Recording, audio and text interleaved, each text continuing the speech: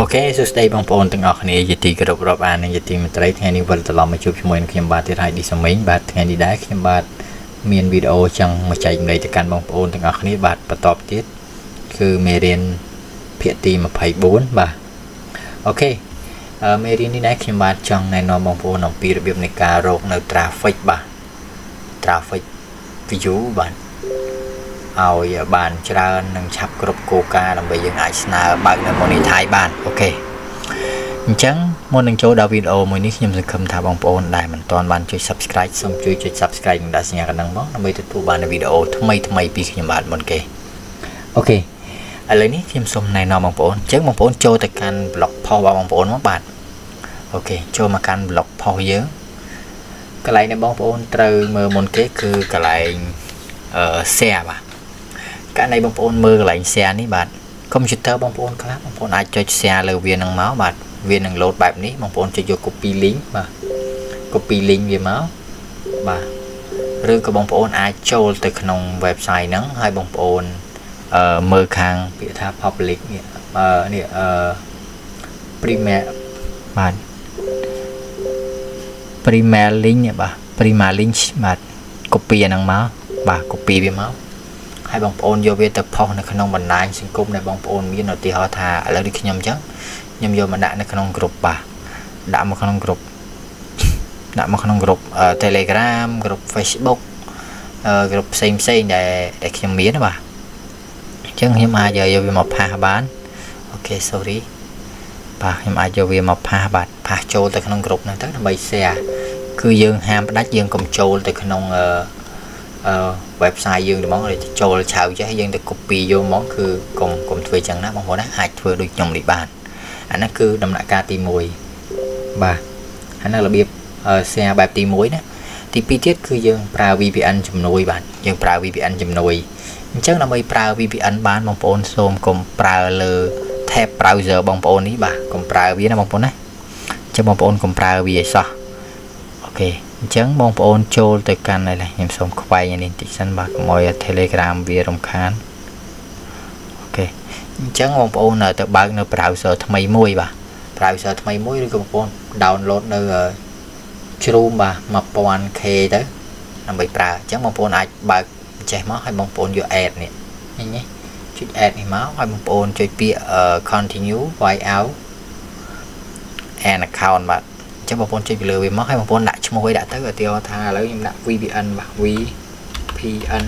1អូខេខ្ញុំដាក់ VPN 1អញ្ចឹងទៅចុចដានមកបាទអូខេអញ្ចឹងខ្ញុំបានមួយឃើញ VPN 1បន្តមកទៀតបងប្អូនអាចទៅបើក file extension បាទនេះ Hola នេះ Hola extension ហ្នឹងបងប្អូនអាច right click លើវាមកបាទនេះបងប្អូនចាប់ទាញវាចេញមកក្រៅក៏បានឬក៏បងប្អូន extract ក៏បានតែខ្ញុំសូមចាប់ទាញមកបាទ ទាញវាចេញមកដាក់លើក្រៅមកក្បែរគ្នានឹងមកបាទអូខេចាំបន្តិចវាកំពុងបញ្ចេញហូឡាមកហើយបាទរងចាំតិចទៅអូខេ replay បាទអូខេហើយសារតែមុននេះខ្ញុំបានទាញវាមួយមកក្រៅហើយអញ្ចឹង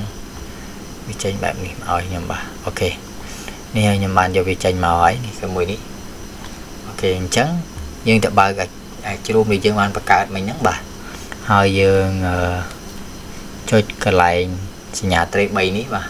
ត្រេ3នេះហើយបងប្អូនយកពាក្យថា extension បាទចុច extension មកហើយចុច manager extension បាទបន្តមកទៀតបងប្អូនបើក developer mode នេះ developer mode ហ្នឹងបងប្អូនចុចបើកវាមកបាទចុចបើក developer mode រួចបងប្អូនមើលពាក្យថា អឺលុប unbreakit បាទចុចពីលើវាមកវានឹងនាំបងប្អូនទៅរកអញ្ចឹងបងប្អូនមើលមិញហើយយើងដាក់មិញនៅលើ desktop អញ្ចឹងយើងចុចទៅលើ desktop ហើយយើងមើលអឺ Hola extension ឃើញនេះ folder របស់យើងហ្នឹង folder Hola extension នេះចុចចូលមកបាទវានឹងនាំបងប្អូនឲ្យចេញនៅកម្មវិធី Hola មួយបាទអញ្ចឹងបន្តមកទៀតបងប្អូនមើលអាកន្លែងសញ្ញានេះសញ្ញានេះឃើញទេ សញ្ញាដូចរូបគុំហ្នឹងហើយបងប្អូន pin Hola ចេញមកក្រៅមកបាទអូខេ pin នេះបងប្អូនចូលមកបើក new មួយមកបើកសញ្ញាបូកបាទហើយបងប្អូនមើលអាកន្លែង Hola ហ្នឹងបងប្អូនចុចពីលើវាបាទចុចពីលើវាមកវាចេញចេះបើសិនជាវាអត់ចេញអញ្ចឹងទេសម្រាប់ខ្លះវានឹងចេញជារូបរាងផ្សេងបាទឧទាហរណ៍ថាពេលខ្លះអឺវាចេញរូបដូចជារូបកម្មវិធីអីចឹងមានច្រើននេះបងប្អូនអាចលុកមួយមកបាទ ចុចពីលើអាណាមួយមកក៏បានដែរអូខេឥឡូវខ្ញុំសូមទៅយកមួយទៀតមើលឃើញលោវាចេញឲ្យឥឡូវខ្ញុំសូមបើកអានេះមក extension បាទ manager extension load ហើយ Hola បាទ select folder អូខេអញ្ចឹងខ្ញុំបើក Hola នឹងមកបាទនេះឃើញវាចេញបែបនេះវាចេញបែបនេះបើករណីវាចេញបែបហ្នឹងបងប្អូនបាទបងប្អូនត្រូវចុចលើអាណាមួយក៏បានដែរសេចចិត្តបងប្អូនបងប្អូនចុចមកដូចខ្ញុំចុច BBC អញ្ចឹងមក អូខេចុចហើយខ្ញុំខ្វែងវាវិញនេះហើយខ្ញុំចុចម្សាទៀតចុច BBC ដដែលបាទហើយខ្ញុំនេះឃើញចុចម្សាទៀតទៅវាចេញវាចេញជាចេះមកហើយឃើញទេវាចេញជាអញ្ចឹងឲ្យហើយឃើញបងប្អូនវាចេញជារើសប្រទេសឲ្យអញ្ចឹងបងប្អូនអាចប្រើប្រទេសជាច្រើននៅក្នុងហ្នឹងឃើញទេអាចប្រើប្រទេសទាំងអស់នៅក្នុងហ្នឹងបានបងប្អូនណាអូខេឥឡូវនេះខ្ញុំសូមខ្វែងគឺឥឡូវខ្ញុំសូមរើសយកប្រទេសមួយឥឡូវខ្ញុំសូមទៅរើស ប្រទេសប្រេស៊ីលបាទប្រេស៊ីលអញ្ចឹងខ្ញុំដាក់ប្រេស៊ីលមកបាទឃើញវាចាប់ដើមដើរហើយឥឡូវយើងចង់ដឹងថារបស់យើងនេះទៅប្រេស៊ីលអត់ VPN យើងនេះឥឡូវយើងសូម stop សិនបាទ stop វាសិនចុចប៊ូតុងបិទចេះដើម្បីឆែកមើលហើយយើងចុច Owner បាទ H O E R បាទ Owner អញ្ចឹងមកបាទវាយនេះអូខេ sorry W H O R E បាទយ៉ា E O R បាទ ER បាទនេះ wuner.net អញ្ចឹងយើងចុចមកនេះ wuner.net ចុចវាមក wuer បាទ .net ឥឡូវខ្ញុំ check មើលឲ្យបងប្អូនមើលសិនគឺឥឡូវខ្ញុំនៅខ្មែរអញ្ចឹងណាបងប្អូនណានៅខ្មែរអញ្ចឹងឥឡូវខ្ញុំដូរប្រទេសទៅយកប្រេស៊ីលមិញបាទOK ឬក៏ប្រទេសណាទេបងប្អូនណាប្រេស៊ីលខ្ញុំរើសប្រេស៊ីលចា OK ពេលដែលខ្ញុំចុច next វាទៅប្រេស៊ីលវានឹងផ្លាស់ប្ដូរបាទវានឹង refresh auto បងប្អូនឃើញវា refresh ហើយណាវា refresh ហើយវា refresh auto ឥឡូវឃើញយើងនៅ Brazil ហើយឃើញទេនៅ Brazil អញ្ចឹងឥឡូវខ្ញុំទៅ copy link របស់ខ្ញុំមិញបាទ copy អានេះមួយយកវាមកដាក់យកវាមកដាក់បាទយកវាមកដាក់ឥឡូវនេះ0បងប្អូនមើលណា0អញ្ចឹងឥឡូវខ្ញុំ copy link Brazil ហ្នឹងមកយកមកដាក់វាបាទផាសចូល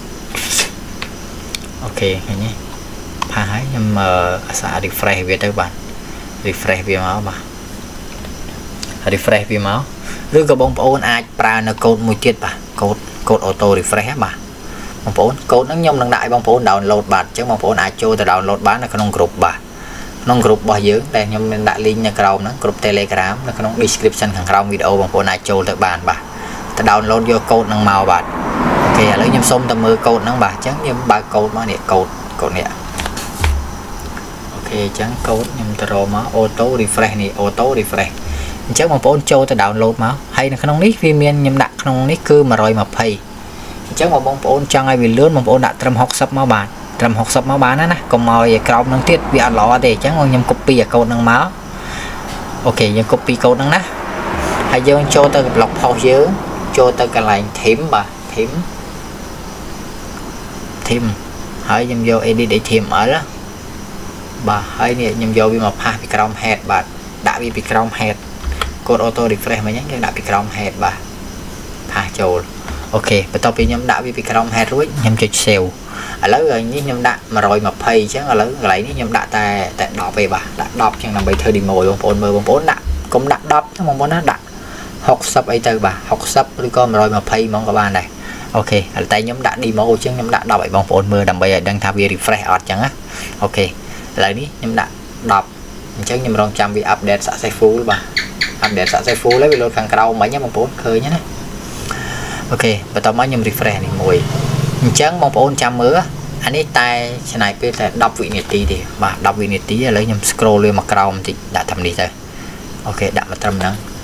ចាំមើលវា10វិនាទីវា refresh ហើយបាទវា refresh ហើយកញ្ញាអូខេវា refresh ហើយវា refresh មួយបងប្អូនចាំមើលកន្លែងលើនេះមើលលើហ្នឹងចាំមើលវា refresh គឺខ្ញុំអត់បានចុចវាទេបាទប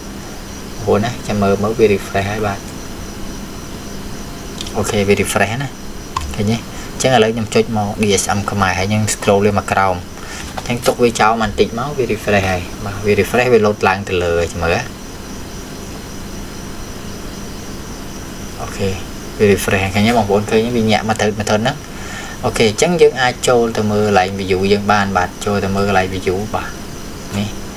អឺផុសមិញផុសមិញគឺចង់ដឹងថាវាបាន view ប្រហែលអញ្ចឹងយើងចូលមកកន្លែងផុសមកនេះរបស់ខ្ញុំនេះ0អញ្ចឹងខ្ញុំ refresh នេះមួយបាទដើម្បីមើលមើលតែវា load បានបាន11ឯឃើញទេ11ហើយចូលមកកន្លែងនេះយើងអាចមើលបានតើ view យើងវាទៅនៅនៅប្រទេសណាអញ្ចឹងណា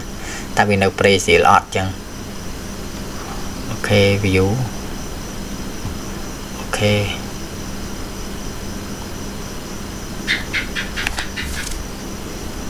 បាទ view OK view កម្ពុជានេះ Brazil បងប្អូនឃើញទេ Brazil Brazil អូខេឬក៏បងប្អូនអាចមើលកន្លែងនេះក៏បានដែរបងប្អូនណាចូលមកកាន់អានេះមក OK បងប្អូន scroll ចុះក្រោមបន្តិចយកអានេះមក ហើយបងប្អូនមើលបាទប្រទេសដែលយើង load មិញបាទវាអត់តាន់ load ឲ្យទេបាទនេះនេះបងប្អូន scroll ចុះក្រោមឃើញហើយអឺ order ផ្សេងផ្សេងទៀតបាទមកអូខេវាអត់តាន់ load ឲ្យទេបាទវាអត់តាន់ load ឲ្យទេសារតែយើងអាតុមចាប់ដើមធ្វើវាអញ្ចឹងវាអត់តាន់ load ទេបាទចាំតិចទៅចិត្តវា load ដល់កន្លែងនេះដាក់ Brazil ឲ្យហើយ ពេលមួយថ្ងៃអីវា load ឲ្យយើងហើយអូខេអញ្ចឹងឥឡូវការធ្វើរបស់ខ្ញុំគឺវាអត់មានអីទេគឺមានតែប៉ុណ្្នឹងសម្រាប់ការរកនៅ view view អញ្ចឹងបងប្អូនត្រូវព្យាយាមរកនៅ view ហ្នឹងឲ្យបានច្រើនបាទឲ្យបានច្រើនតាមដែលអាចធ្វើទៅបានអូខេឲ្យបានច្រើនតាមដែលអាចធ្វើទៅបានទៅបងប្អូនអាចបង្កើតជ្រូមយ៉ាងឲ្យច្រើនមកបាទហើយបងប្អូនដាក់ត្រឹម120អីទៅអាកន្លែង refresh code នេះបងប្អូនណា ដាក់ត្រឹម120អីទៅហើយធ្វើតាមវីដេអូហ្នឹងមកបងប្អូនអាចរកបាន view ច្រើនបាទ view ច្រើនឥឡូវខ្ញុំសូមបិទវិញបាទខ្ញុំបិទវិញដោយសារតែខ្ញុំអត់ទាន់ទៅការចាក់ view ឥឡូវទេអូខេអញ្ចឹងបងប្អូនត្រូវធ្វើតាមនឹងហើយអនុវត្តវាទៅរហូតដល់បងប្អូនមើលកន្លែង view នេះបាទអូខេឥឡូវខ្ញុំសូមចូលទៅនេះដើម្បីឆែក view អញ្ចឹងបងប្អូនត្រូវមើលនៅលើ view analytics ពេលដែល view analytics យើងឡើងបានត្រឹម20000អីបងប្អូនណា ត្រឹម20000អីបងប្អូនអាចស្នើបានអីចឹងបងប្អូនចូលមកកាន់ analytics នេះមក Google analytics ហើយបងប្អូនយកពាក្យ report នេះ report បន្តមកទៀតបងប្អូនយក and Germet បាទនេះអានេះអានេះបងប្អូនមើលអក្សរវាបាទចុចហើយបងប្អូនយកពាក្យ page and screen បាទចុចពីលើវាមកOK ហើយបងប្អូន select អានេះដូរវាយកពាក្យថា page path and screen បាទ ចុចពីលើវាមក OK ហើយកន្លែងថ្ងៃខែនេះបងប្អូនអាចដាក់វា28ថ្ងៃ30ថ្ងៃ90ថ្ងៃឬ120ថ្ងៃបានបងប្អូនដាក់ចឹងទៅទៅវាបានសូបង្ហាញថ្ងៃរបស់យើងទាំងអស់ឲ្យយើង OK ឥឡូវខ្ញុំសូមដាក់នេះ30មកបាទ30ឬក៏90អីចឹងទៅបាទហើយ apply វាមកអូខេហើយបងប្អូនមើលអាកន្លែង total នេះបងប្អូន total នេះណាឥឡូវរបស់ខ្ញុំនេះទុំបាន8000នេះ នេះ view វាទាំងអស់ទុំបាន8000នេះអញ្ចឹងបងប្អូនត្រូវមើលអាកន្លែងហ្នឹងឡើងបានគ្រប់ត្រឹម20000នេះទៅឬក៏30000អីក៏កាន់តែល្អពេលយើងបានប៉ុណ្ណឹងហើយយើងអាចស្នើបើកនៅ monetize បានហើយបងប្អូនណាអានេះគឺការ review គឺបងប្អូនត្រូវព្យាយាមធ្វើអញ្ចឹងបាទឲ្យបានច្រើន បាទឲ្យបានច្រើនហើយបញ្ជាក់ភាសាទៀតណាគឺកន្លែងកូដ auto refresh នេះបងប្អូនកុំដាក់ឲ្យក្រោម60បងប្អូនដាក់លើ60ទៅ ដាក់ត្រឹម60ក៏បានឬក៏លើនឹងក៏បានដែរតែកុំក្រោមឧទាហរណ៍ថា50អីចឹងកុំចាំបងប្អូនដាក់60ឬក៏120ហ្នឹងទៅល្អបាទបើខ្ញុំជិះទៅខ្ញុំដាក់120ហ្នឹងបាទជាទូទៅនឹងខ្ញុំ120ហើយបញ្ជាក់កូដហ្នឹងខ្ញុំនឹងដាក់ឲ្យបងប្អូន download នៅក្នុង description ខាងក្រោមវីដេអូអញ្ចឹងបងប្អូនអាចចូលទៅ download បានបាទអរគុណសម្រាប់ការតាមដានទស្សនាវីដេអូមួយនេះហើយខ្ញុំសង្ឃឹមថា បងប្អូនដែលមិនទាន់បានចុច Subscribe សូមជួយចុច Subscribe និងដាក់សញ្ញាកណ្ដឹងផងដើម្បីទទួលបានវីដេអូចែកម្លែកចំណេះដឹងពីខ្ញុំបាទថ្មីថ្មីមុនគេពេលនេះពីខ្ញុំបាទឌីសាមេនគឺសូមអរគុណនិងសូមជម្រាបលា